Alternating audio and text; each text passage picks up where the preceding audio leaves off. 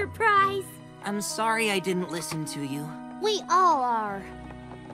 I guess grown-ups aren't always perfect. They sure aren't. But young foals pretending to be grown-ups are even less so.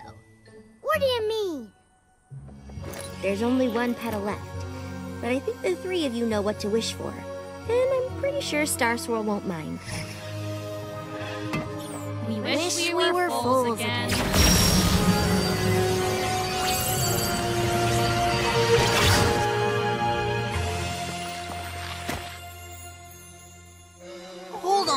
You three are actually younger than us?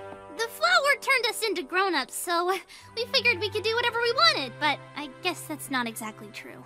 We did everything real grown-ups told us not to and caused all kinds of trouble. And things could have been a lot worse.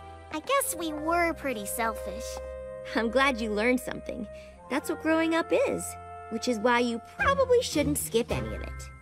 I know we didn't make the best impression, but We sure would like to visit you and Bloofy someday. I guess that'd be okay, on one condition.